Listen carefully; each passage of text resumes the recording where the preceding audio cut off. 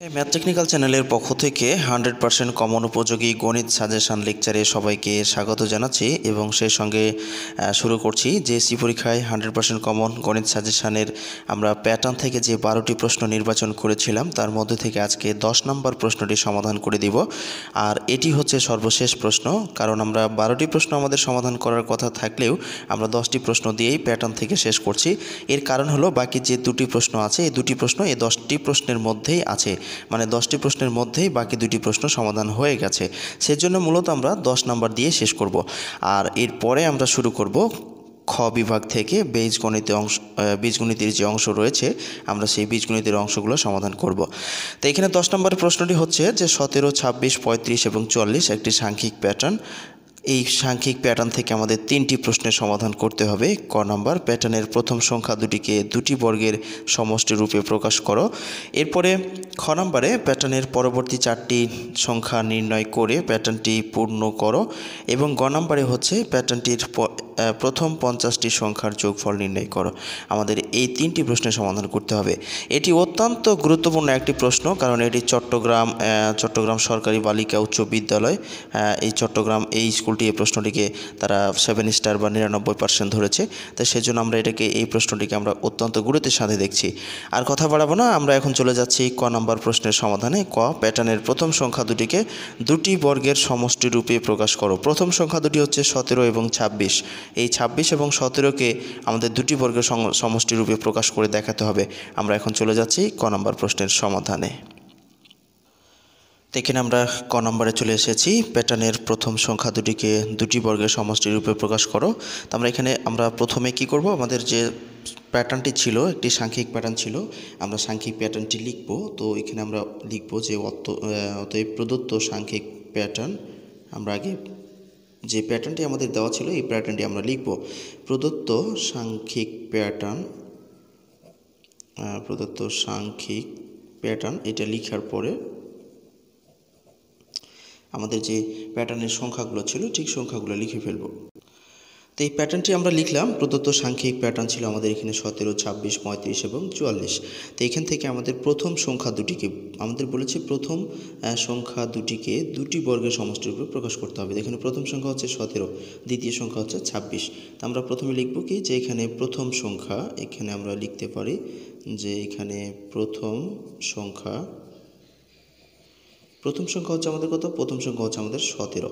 এই সতেরোকে আমাদের দুটি বর্গের সমষ্টিরূপে প্রকাশ করতে হবে। তো যদি আমরা দুটি বর্গের সমষ্টি রূপে প্রকাশ করি, তাহলে দেখো এরকম যদি আমরা করি, তাহলে কিন্তু করা যাবে। অর্থাৎ সতেরো থেকে আমরা এক নিলাম, আর এরপরে আমরা নিলাম ষোলো। তো যদি আবার সতেরো ষোলো আর এক যদি আমরা যোগ করি, আবার কিন্তু কি হয়ে যাবে? সতেরো হয়ে যাবে।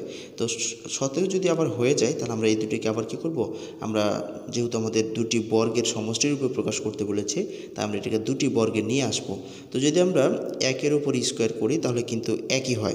একের উপর স্কোয়ার করলে একই হয়। এরপরে যদি আমরা ষোলোর উপরে, এই ষোলোকে যদি আমরা চার নেই, চারের উপর স্কোয়ার করি, তাহলে আবার কি হয়ে যাবে? চার চারে ষোলো হয়ে যাবে। তো এটা একটা বর্গ হলো, এটা একটা বর্গ হলো, আর এটা হলো যোগ। অর্থাৎ আমাদের বলেছিল দুটি বর্গের সমষ্টি সমষ্টি হচ্ছে যোগ। তো দুটি বর্গ সমষ্টির উপর প্রকাশ করে নিলাম যে একের ওপর স্কোয়ার আর চারের উপরে স্কোয়ার। তো এইভাবে আমাদের দ্বিতীয় সংখ্যা যেটি ছিল ছাব্বিশ, এই ছাব্বিশকেও আমাদের দুটি বর্গের সমষ্টির রূপে প্রকাশ করতে হবে। তো এখন আবার আমরা লিখব যে অতএব দ্বিতীয় সংখ্যা সমান। তো যদি আমরা দ্বিতীয় সংখ্যা লিখি দ্বিতীয় সংখ্যা। দ্বিতীয় সংখ্যাটা আমাদের আছে এখানে ছাব্বিশ। তো আমরা এখানে লিখলাম ছাব্বিশ। এখন ছাব্বিশকে আমাদের দুটি বর্গের সমষ্টি রূপে প্রকাশ করতে হবে। একবারই সহজ, যদি তোমরা একটু মনোযোগ সহকারে এগুলো বুঝার বা করার চেষ্টা করো, খুব সহজেই তোমরা এগুলা এই অঙ্ক এই ধরনের অঙ্কগুলো করতে পারবে। আর পরীক্ষায় এবার এই এই ধরনের প্রশ্নগুলো আসার সম্ভাবনা একবারে খুবই বেশি, তাই তোমরা এগুলো করতে পারবে। তো দেখো, যদি আমরা ছাব্বিশকে এরকম করি যে এক যোগ পঁচিশ, তা আবার কি হয়ে যাবে? ছাব্বিশ হয়ে যাবে। তাহলে এক যোগ পঁচিশ যদি আবার যোগ করি ছাব্বিশ হয়, তা এখন যদি আমরা এটাকে দুটি বর্গে নিয়ে আসি, তাহলে একের ওপর স্কোয়ার দিলে আবার একই হবে। আর পঁচিশকে যদি আমরা এরকম করি, পাঁচের ওপর স্কোয়ার তাহলে পাঁচ পাঁচে পঁচিশ। তো পঁচিশ আর একে যোগ করলে আবার কি হয়ে যাবে? ছাব্বিশ হয়ে যাবে। তো আমরা এখানে দুটি বর্গের যে সমষ্টিরূপে প্রকাশ করতে বলেছিল, আমরা এখানে এটি এটি একটি পেলাম। আর এখানে আমরা পেলাম এটা। তো দুটি বর্গের সমষ্টিরূপে প্রকাশ করতে বলেছিল প্রথম দুটি সংখ্যা। আমাদের প্রথম সংখ্যাটা ছিল সতেরো, দ্বিতীয় সংখ্যাটা ছিল ছাব্বিশ। আমরা সতেরোকে করেছিলাম একের উপর স্কোয়ার এবং চারের উপর স্কোয়ার, আর ছাব্বিশকে করলাম একের উপর স্কোয়ার আর পাঁচের উপরে স্কোয়ার। তাহলে এই এই দুটি করলেই আমাদের কয়ের প্রশ্নের উত্তরটি কী হয়ে যাবে? শেষ হয়ে যাবে। তো এইখানেই আমাদের কয় শেষ হয়ে গেল। তো এই ছিল আমাদের ক নম্বর প্রশ্নের সমাধান। একটা হচ্ছে সতেরো এবং ছাব্বিশ, এই দুটিকে, দুটি বর্গের সমষ্টিরূপে আমরা কি করে দিলাম? প্রকাশ করে দিলাম। তো এখন আমরা চলে যাব খ নম্বর প্রশ্নে। আমাদের খ নম্বর যে প্রশ্নটি আছে, এটিতে আমরা চলে যাব।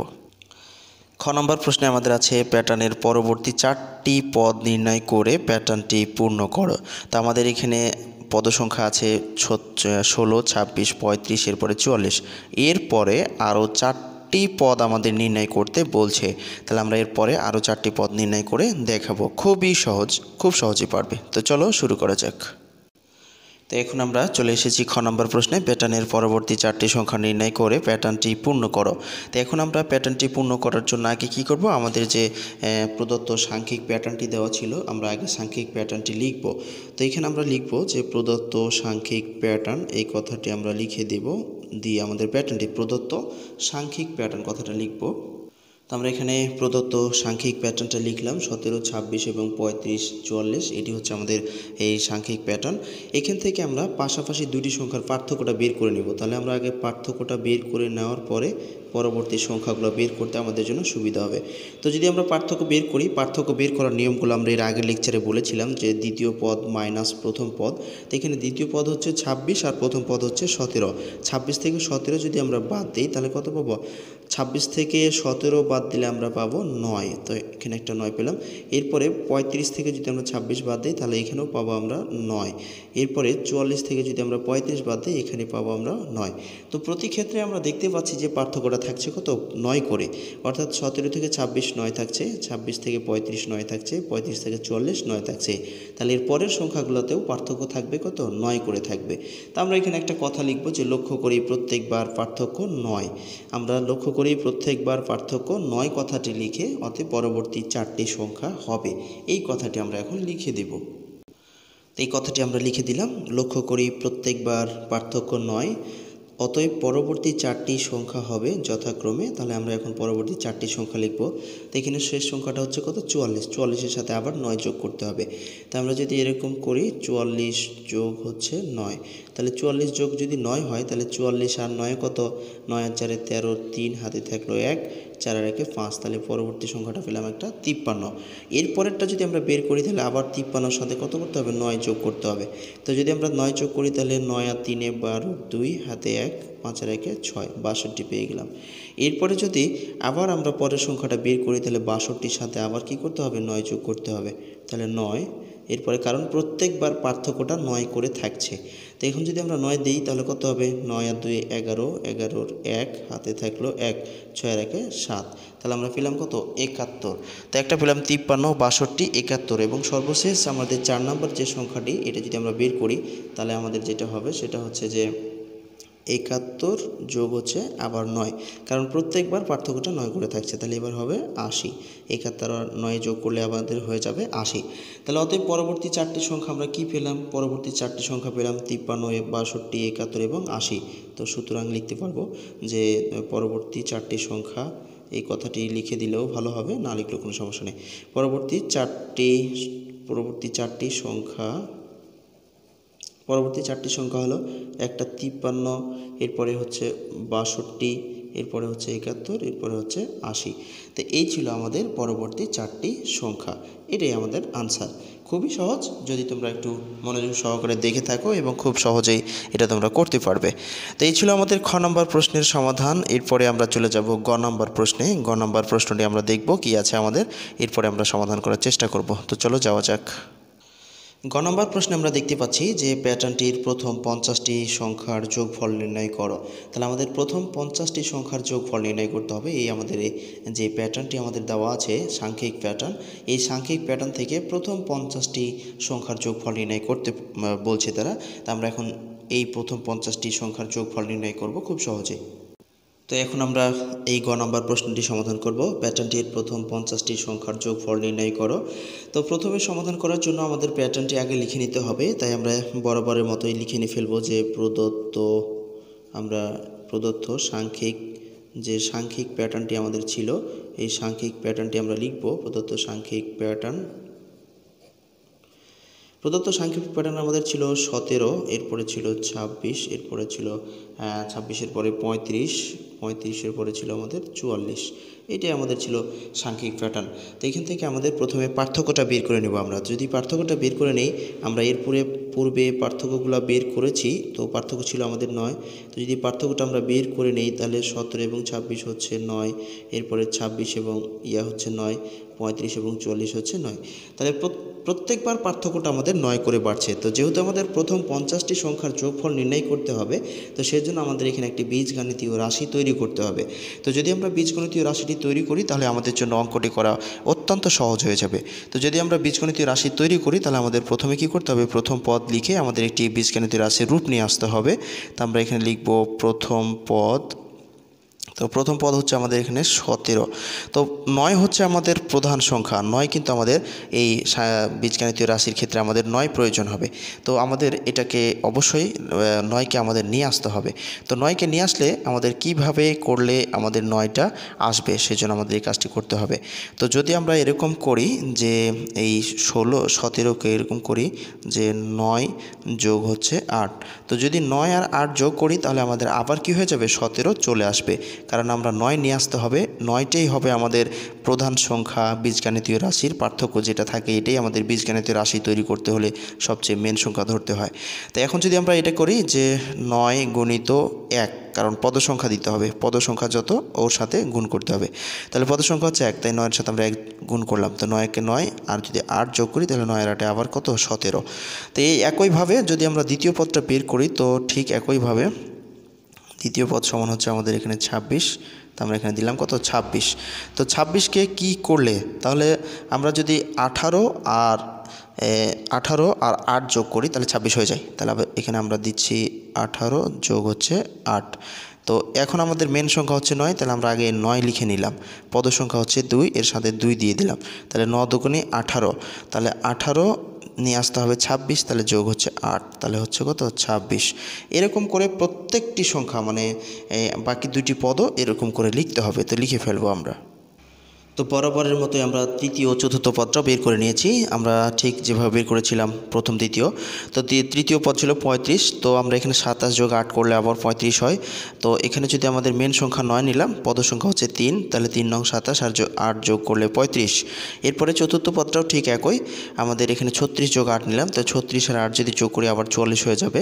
তো এখানে আমাদের মেন সংখ্যা নয়, পদ সংখ্যা হচ্ছে চার চার নয় ছত্রিশ যোগ আট, তাহলে আবার চুয়াল্লিশ হয়ে যাচ্ছে। যদি একইভাবে আমরা কতম পদটাকে নিই, তাহলে আমাদের কি দাঁড়াচ্ছে?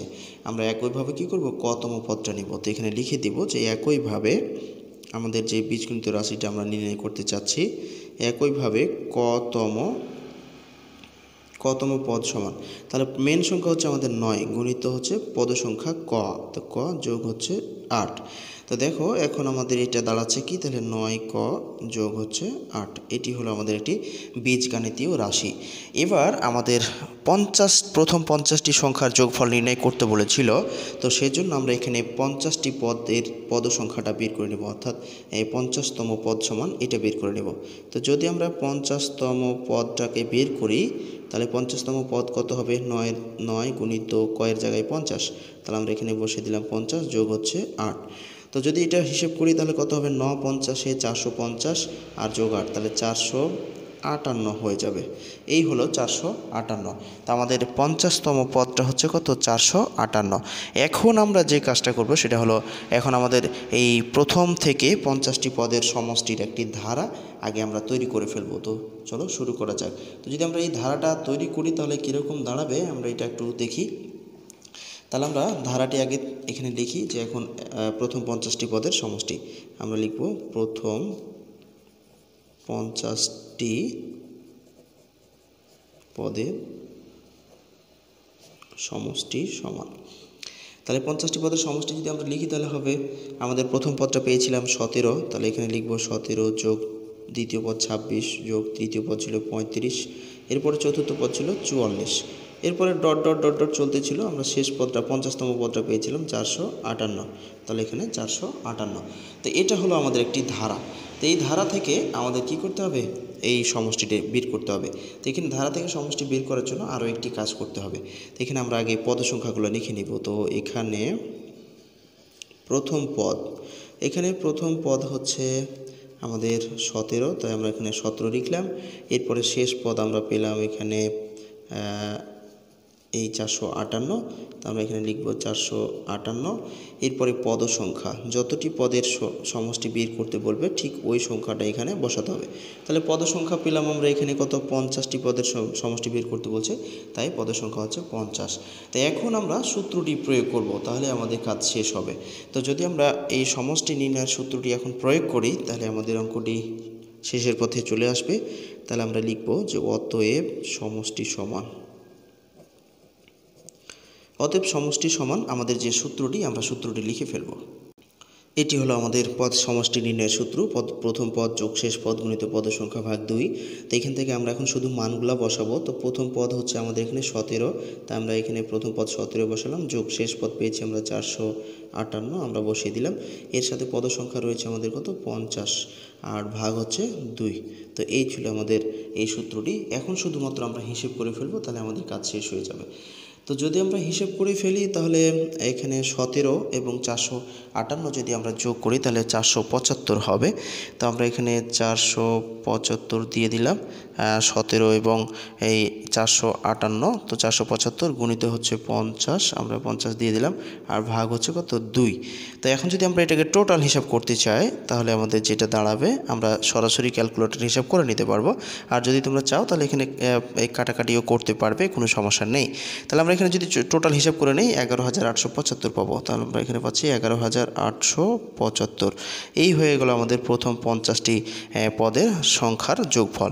এই ছিল আমাদের এই প্রথম পঞ্চাশটি পদের যোগফল। তা আশা করি তোমাদের ভালো লেগেছে। আর যদি ভালো লেগে থাকে, তাহলে অবশ্যই তোমরা ভিডিওতে একটি লাইক দিয়ে কমেন্ট বক্সে তোমাদের মতামতগুলো লিখে জানিয়ে চ্যানেলটি সাবস্ক্রাইব করে না থাকলে সাবস্ক্রাইব করে সবার মাঝে শেয়ার করবে। এই প্রত্যাশায় আপাতত আজকে এখানে বিদায় চাইছি। দিনটি সবার ভালো কাটুক। খোদা হাফেজ।